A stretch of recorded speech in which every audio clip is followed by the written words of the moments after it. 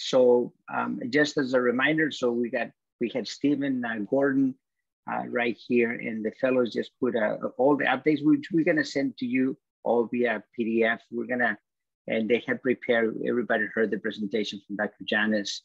We are going to have our next two speakers, which is Dr. Peterson, Dr. Fox. They've been really, really looking into opportunities. Uh, how do we best use new technologies into diseases that are quite complex. One of them in the brain is arterial malformation and this Aruba era and the role of radiosurgery. So they divided forces. Uh, both Dr. Fox is one of our consultants, associate professor. Everybody knows who he is. Uh, Michigan, uh, stayed there in Michigan for all the way from medical school, residency, play actually hockey there, won two NCAA championships, went to play professionally, then went to play to the military, and then uh, eventually going back to residency and doing amazing things. Uh, Dr. Peterson, the only thing that I can tell you is when I first came here, I thought that she was on 24 7, and she was on 24 7 as the only radiation oncologist we were picking up.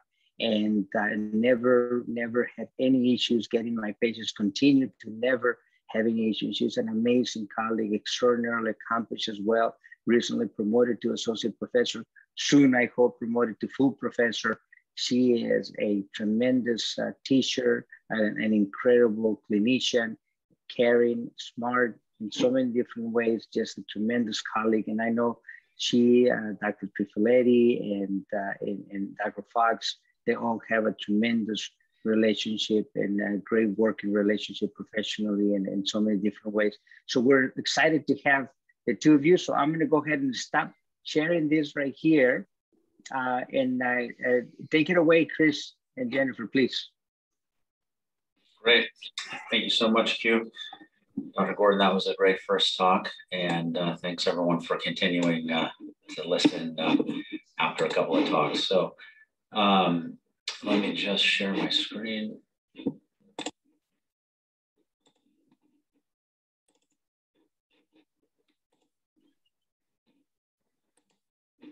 All right, can everybody see that okay? Awesome. Yeah, we're good.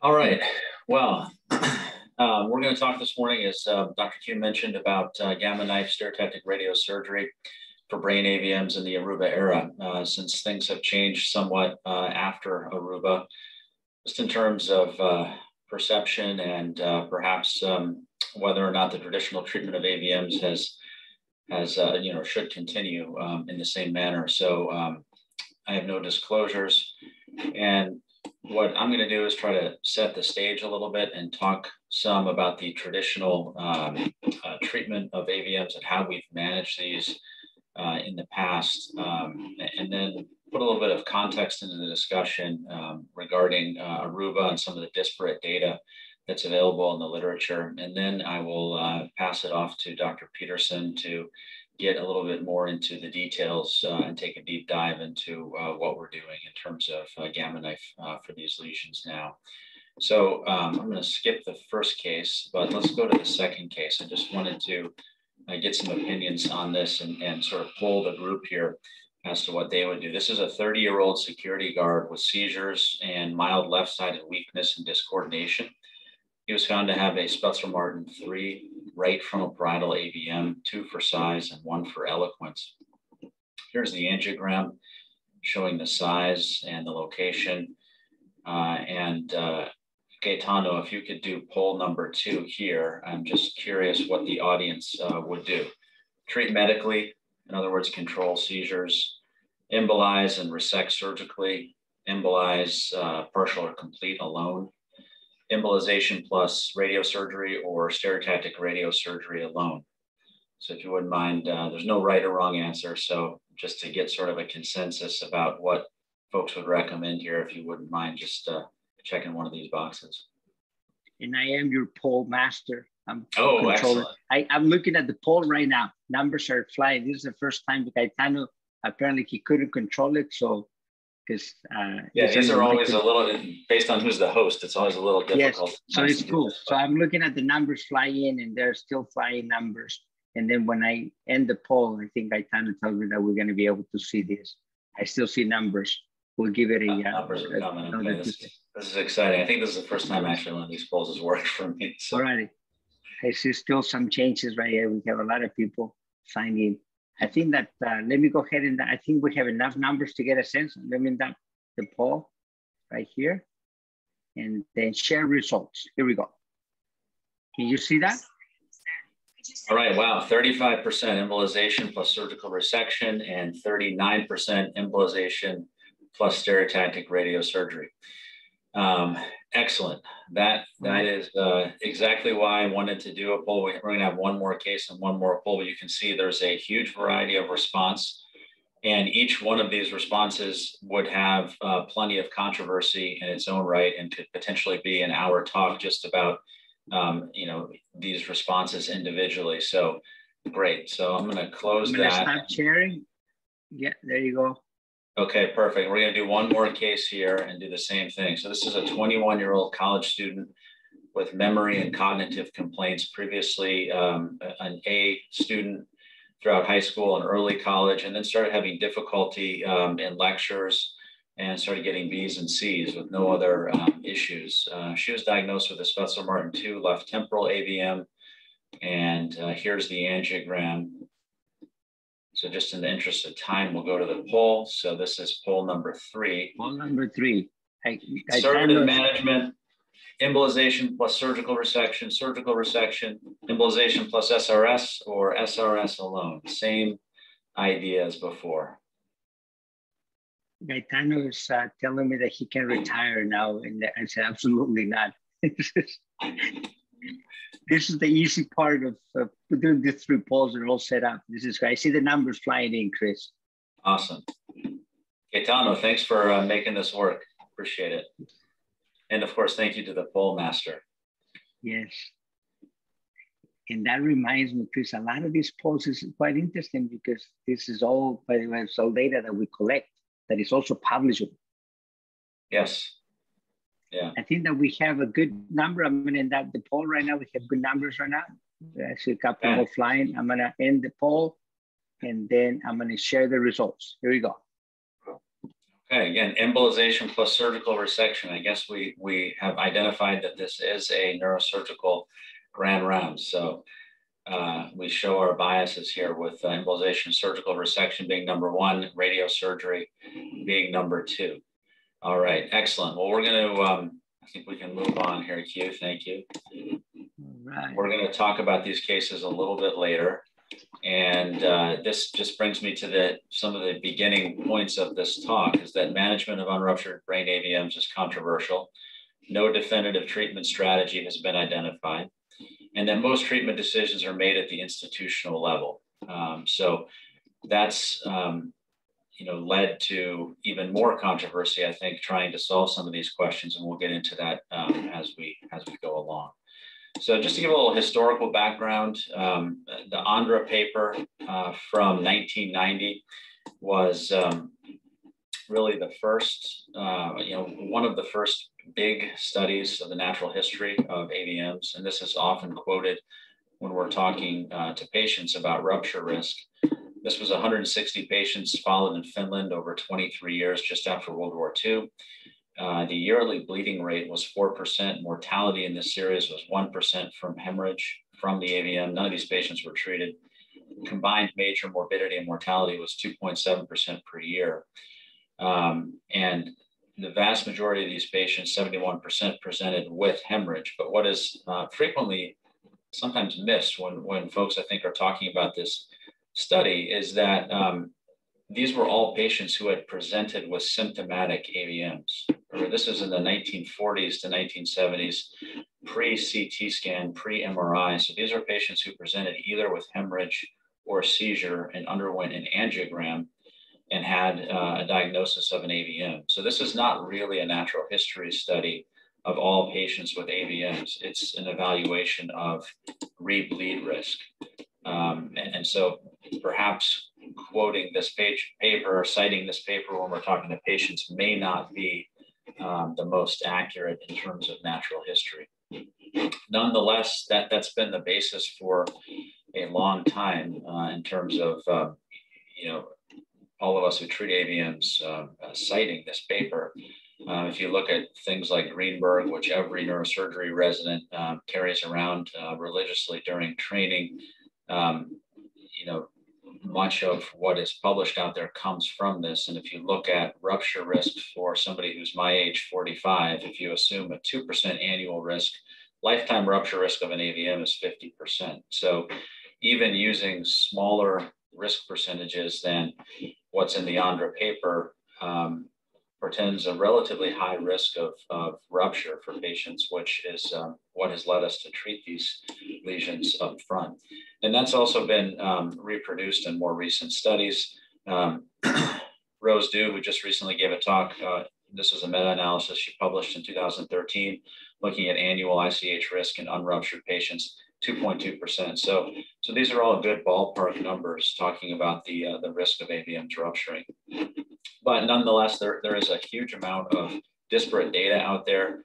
You know, you'll read things about, oh, you can, you can estimate lifetime risk of AVM bleeding by subtracting age from 105. Here's the Ondra paper. There are some higher risk features. Uh, there's another recent speaker, Dr. Judy Huang, um, with a new scoring system here, looking at other variables that can increase the risk. And so as you go through the literature, you can find lots of examples that, that do point to a, a high longitudinal risk for AVM rupture. For example, um, Dr. Huang's red AVM score, depending on how many risk factors you have, your uh, lifetime uh, probability of hemorrhage, you know, could be as high as 70 or, or 80%. So, so these are certainly uh, potentially dangerous lesions. And I think the, the, the point of all this is that we still have work to do to figure out which lesions are at the highest risk of rupture. So that's kind of a little bit of the background as to what led to the Aruba study. And this was a paper from the Aruba group introducing the study. Um, and just by the title, you can sort of understand why much of this has been very controversial. Here's the title, Invasive Treatment of Unruptured Brain Arteriovenous Malformations is Experimental Therapy. So um, you know, a pretty provocative title. And if you look through this paper, um, and this is from 15 years ago, just before Aruba recruitment started, um, the claim was made that the five-year rupture risk of an AVM is about five to 20%, and the five-year cumulative treatment risk based on which series you look at is also about five to 20%. And even, you know, even if those numbers are, are taken as gospel, the issue with this is the fact that you know, if you're 20 or 45 or 60, your life expectancy is a lot more than five years, and that's the problem. So, one of the pieces of literature that was used um, to justify this paper was the Columbia AVM database showing significant declines in neurologic function after surgery. Unfortunately, however, this data is, is not um, modern surgical series data and does not accurately reflect the treatment of AVMs currently. So um, again, much controversy about this right off the bat. So uh, Aruba and then the follow-up Aruba paper, um, these were published in 2014 and 2020 respectively. And basically what this was is a randomization over six years of 114 patients to interventional therapy, which could have been any type of AVM treatment including embolization surgery or radiosurgery, and then 109 patients to medical management. Most of these were Spetzler Martin 2 or less, um, although there were a few higher grade lesions included. Uh, the randomization was halted uh, due to superiority of uh, medical management after uh, mean follow-up of 33 months. And what was found um, over this short follow-up time uh, was that interventional arm had a higher risk of stroke or death, over 30% versus the medical arm, 10%. And obviously, a few problems with this right off the bat. Um, one of them being very short follow up period for a, a, disease that affects patients lifelong. And then one of the other issues is that um, the intervention type, this was a primarily um, embolization uh, driven study. Um, very few patients underwent neurosurgery alone or even neurosurgery plus embolization. So there's been a fairly significant uh, pushback against uh, Aruba. Uh, this is a, a, review and editorial uh, by Dr. Wong um, looking at some of the um, issues uh, with this, including small percentage of low-grade AVMs treated with microsurgery, short follow-up period of 33 months, um, a very inclusive definition of stroke that may have um, artificially inflated the, uh, the, the risk of intervention um, and so on and so forth. There's also been a number of series that have um, compared uh, their Aruba-like patients to the actual Aruba trials. This is um, uh, from the Harvard group, uh, looking at 318 patients with AVMs treated with any of the uh, typical interventions, so similar um, inclusion criteria to Aruba. And then they performed a specific analysis on 142 Aruba eligible patients. The annualized stroke rate for this cohort was 1.8%. Um, the primary Aruba endpoint of symptomatic stroke was 9.2%, which matched the medical arm in Aruba and was much less, about a third than the interventional arm. Looking at a secondary Aruba endpoint of um, uh, modified Rankin greater than or equal than, than two at five years, this was uh, reached in 14.3% of patients in this series, which was much less than the 40% in the Aruba intervention arm and actually less as well than the medical arm uh, in Aruba. This led to uh, the AHA ASA scientific statement uh, that came out um, a couple of years ago. Um, again, uh, voicing concerns about Aruba that the, the primary endpoints reported for Spetzler-Martin grade one, two, or three AVMs were much, much higher in terms of uh, poor outcome than what would be expected in a contemporary series. If you look at previous meta-analysis of grade one, two, and three AVMs, these the numbers of uh, percentage of poor outcomes is much, much less, 4% versus 14%, 10% versus 43%, 18% versus 57% than what was reported in Aruba.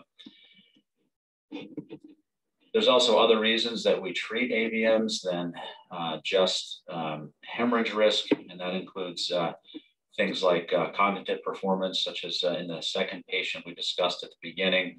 This was a study recently published in the White Journal looking at 70 patients with um, a history of AVM who underwent specific neurocognitive testing. More than 70% of these patients had neurocognitive deficits and temporal lobe AVMs were more likely to result in memory deficits on neurocognitive testing. So again, this is similar to the, the case that was presented here earlier. Specifically about radiosurgery, just as a primer before I pass it on to Dr. Peterson, um, there's been a few um, large analyses uh, of both pre-Aruba type um, treatment options uh, using radiosurgery and post-Aruba um, uh, series looking at this. So this is um, this is one that um, uh, reported patients in the pre-Aruba era, um, looking at uh, 172 patients treated with first-line uh, gamma knife uh, SRS, median age of 40, um, almost nine years of follow-up. Um, overall obliteration rate was 76% in this series. Post-treatment hemorrhage risk was about 1.1% uh, per year, which is less than the medical arm uh, of Aruba, which was 2.2% annual risk of hemorrhage in patients who were treated conservatively. Very low um, uh, post-gamma knife morbidity, so transient uh, uh problems in 8%, permanent neurological deficits in less than 5%, 86% of patients with an MRS less than or equal to one at last follow-up, and another benefit here, about 85% of patients who presented with pre-therapeutic uh, epilepsy were seizure-free after radiosurgery. One of the last studies here I'll, I'll talk about is um, uh, this is a post-Aruba um, analysis recently published in the Red Journal looking at um, uh, results after gamma knife stereotactic radiosurgery compared to the medical arm of Aruba. And what you'll see is for the first five years or so, taking all comers in this series who were treated with gamma knife, very close to the medical arm uh, in Aruba. However, after five years, the risk of hemorrhage in the Aruba group continues going up, whereas this flattens out. And Jennifer's going to talk a little bit more about this specifically. Also looking at um, hemorrhagic mortality rates. Again, there's a steady mortality rate in patients who are untreated versus those who are treated with gamma knife uh, radiosurgery. That, that risk is much, much less. So uh, again, management of unruptured AVMs remains controversial. I think uh, the multidisciplinary approach, such as what we have here with uh, our complex comprehensive uh, uh vascular conference and multiple people from multiple disciplines working together is the best way to approach these complex lesions. We, of course, have to balance necessary. Uh, we have to balance um, uh, risk of treatment with the longitudinal benefit, considering life expectancy. Um, there's multiple options for treating these patients, including conservative management, surgery, embolization, radiosurgery, or combinations of the above. Um, and high rates of uh, AVM obliteration and seizure control can certainly be achieved using gamma knife stereotactic radiosurgery in carefully selected patients. And this is supported by analysis um, in both pre and post Aruba patient cohorts. So that's all.